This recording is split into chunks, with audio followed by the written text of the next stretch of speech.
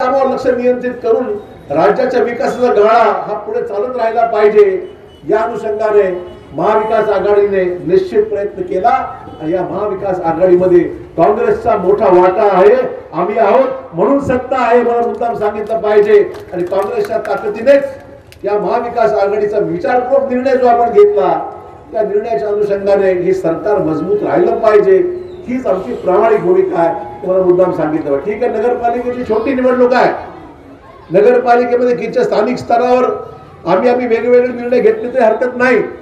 पण राज्य म्हणून विचार करत असताना राज्य स्थिर ठेवण्याच्या बाबतीमध्ये आमची भूमिका निश्चितच हे राज्य चाललं पाहिजे राज्यामध्ये विकासाच्या कामाला मार्गी आपण लावलं पाहिजे ही त्यातली प्रामाणिक भूमिका आहे. मित्र मगाशी जेटली यांनी सांगितलं ओबीसीच्या आरक्षणाचा विषय. कालचा जो निर्णय झाला सुप्रीम कोर्टाचा निश्चितच आम्हाला सर्वांना खूप निराशा झालेली आहे. आम्ही खूप सर्व नाराज झालो. सरकारने निर्णय घेतला सुप्रीम कोर्ट म्हणलं पन्नास टक्केच्या आत आणा. आम्ही निर्णय घेतला ऑर्डिनन्स काढला वटहुकूम काढला. कॅबिनेटने मंजूर कर ठीक आहे पन्नास टक्क्याच्या मध्ये आणलं मी आरक्षण.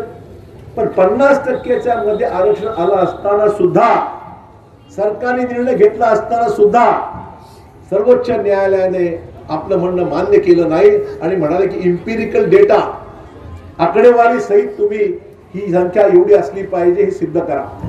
आता मुद्दा आहे की एवढ्या कमी कालावधीमध्ये मला भाजपच्या नेत्यांना विचारा सरकार तुमचं मागच्या काळात होतं ही प्रक्रिया आजची नाही आहे. त्यावेळेस सुरू झाले असता तुमच्या सरकारने तुम्ही का केलं नाही हो? आज आम्हाला कालपासून तुम्ही असं केलं नाही सरकार जबाबदार आहे अमुक जबाबदार आहे आमच्यावर खडे फोडण्यापेक्षा तुमचं सरकार असताना तुम्ही मागच्या दोन तीन वर्षावर तुम्ही सरकार तुम्ही हे का केलं नाही? मुद्दा आम्ही तर एक पाऊल पुढे गेलो मागास आयोग निर्माण केला तिथे जस्टिस नियुक्त निर्गुणता नियुक्त केलं हे काम सोपवलं आणि पन्नास टक्केचा आरक्षणाचा निर्णय आम्ही मध्ये आणण्याचा निर्णय घेतला. पण केंद्र सरकारने तुम्हाला माहिती पाहिजे केंद्र सरकारने काल सर्वोच्च न्यायालयामध्ये अफिडेव्हिट दिलं की इम्पेरिकल डेटा आम्ही देऊ शकत नाही. हा डेटा सदोष आहे म्हणायला लागला. मित्र हा डेटा सदोष असता तर तुम्ही जे आज म्हणता तुमचं सरकार असताना हा डेटा सदोष नव्हता का मग? सगळ्या योजना या डेटाच्या आधारे सर्व जी माहिती आहे त्याच्या आधारे तुमच्या सगळ्या योजना चालू आहे राज्यामध्ये. पण त्या योजना चालू शकतात तर मग हा डेटा तुम्ही देणं नाकार का देता हा माझा प्रश्न या केंद्र सरकारला. पण त्याला करायचं नाही आहे मराठा आरक्षणाचा निर्णय तसाच झाला? नियुक्त निर्गुणता नियुक्त केलं हे काम सोपवलं आणि पन्नास टक्केचा आरक्षणाचा निर्णय आम्ही मध्ये आणण्याचा निर्णय घेतला. पण केंद्र सरकारने तुम्हाला माहिती पाहिजे केंद्र सरकारने काल सर्वोच्च न्यायालयामध्ये अफिडेव्हिट दिलं की इम्पेरिकल डेटा आम्ही देऊ शकत नाही. हा डेटा सदोष आहे म्हणायला लागला. मित्र हा डेटा सदोष असता तर तुम्ही जे आज म्हणता तुमचं सरकार असताना हा डेटा सदोष नव्हता का मग? सगळ्या योजना या डेटाच्या आधारे सर्व जी माहिती आहे त्याच्या आधारे तुमच्या सगळ्या योजना चालू आहे राज्यामध्ये. पण त्या योजना चालू शकतात तर मग हा डेटा तुम्ही देणं नाकार का देता हा माझा प्रश्न या केंद्र सरकारला. पण त्याला करायचं नाही आहे मराठा आरक्षणाचा निर्णय तसाच झाला. मराठा आरक्षणाच्या निर्णयामध्ये सुद्धा केंद्र सरकारने ज्या कायदाच पार्लमेंटमध्ये पास केला पन्नास टक्के अट काढून टाकली नाही. काढून टाकता आली असती. काढून टाकता आली असती. पण केंद्र सरकारने पन्नास टक्केची मर्यादा न काढता अधिकार राज्यांना दिले. अधिकार राज्यांना दिले गोंधळ बसा तुम्ही काही करा. म्हणजे पन्नास टक्केच्या वर आरक्षण न्यायचं नाही.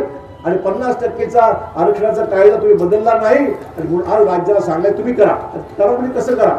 तुम्ही जर पार्लमेंटमध्ये जर घटना दुरुस्ती केली असती आणि पन्नास टक्के जर काढून टाकली असती तर मराठा आरक्षण दहा मिनिटात संपला असतं ओबीसीचा विषय संपला असता मुस्लिम आरक्षणाचा विषय मार्गी लागला असता.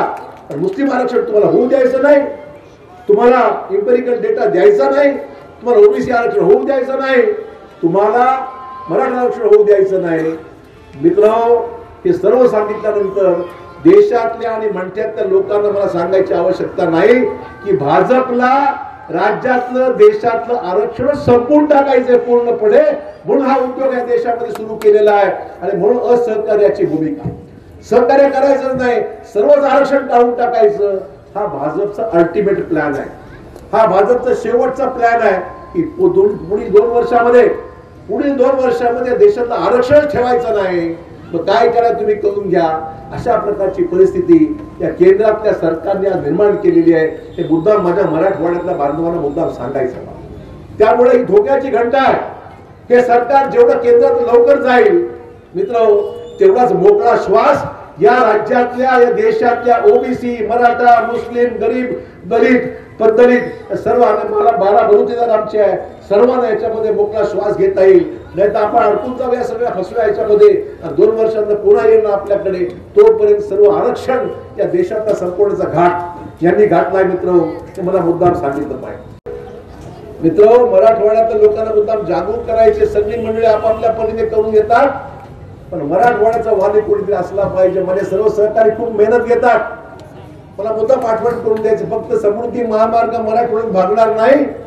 तर समृद्धीच्या महामार्गाच्या बरोबरीने आम्हाला बुलेट ट्रेन ही आपल्याला हैदराबाद पर्यंत आणि मुंबई पर्यंत नेली. तर आम्ही मुंबईचे साडेसहाशे किलोमीटरचं अंतर तीन तासाच्या आत मुंबई गाठू शकू. साडेतीनशे किलोमीटर प्रति घंटे चालणारी बुलेट ट्रेन ही मराठवाड्यासाठी वरदान ठरणार आहे. हा माझा प्रयत्न अद्याप त्याला मंजुरी आहे हा प्रयत्न मी सुरू केलेला आहे की ज्या अनुषंगाने मुंबईला पोहोचल्याला मराठवाड्याच्या माणसाला सगळी काही विमानाने जाऊ शकत नाही हा प्रकल्प हा जो मार्गीला उतार यासाठी उल्लेख करत आहे माझ्या सहकारी मित्रांसमोर की समृद्धी महामार्गाचं काम होता होताना भूसंपादनाच्या प्रक्रियेकडून रेल्वे लाईनची आम्ही निर्णय घेतलेला त्यासाठी वेगळी आता जमीन घ्यायची गरज पडणार नाही. आपल्या समृद्धी बरोबरच रेल्वेची लाईन सुद्धा त्याबरोबर टाकल्या जाईल एवढीच एवढी सोय आम्ही केलेली आहे. फक्त आता त्याला हिरवा झेंडा जर मिळाला तर मराठवाड्याचा माणूस साडेतीन तासामध्ये सरळ मुंबई गाठू शकतो हैदराबाद गाठू शकतो अशा प्रकारची सोय मित्र हो, आपल्याला शंभर टक्के होणार आहे. आणि त्यामुळे हा टप्पा विकासात्मक ठीक आहे. आता गावामध्ये सिंचनात गावामध्ये पिण्याचं पाणी गटारी नाल्या लायब्ररी लाइट पीठ अमुक ते तर होत राहील. पण मराठवाड्याच्या माणसाने थोडं दूरदृष्टी ठेवून याच्यामध्ये लक्ष दिलं पाहिजे. आणि आम्ही सर्व सहकारी आम्ही सर्व सहकारी मिळून मराठवाड्याच्या सर्वांगीण विकासाकरता मराठवाडा मागे राहणार नाही आणि त्याकरता गरज पडली तर संघर्ष केल्याशिवाय आम्ही राहणार नाही हे मला मुद्दा या निमित्ताने सांगितलं आई भवानीचा गजर म्हणजे झी चोवीस तास.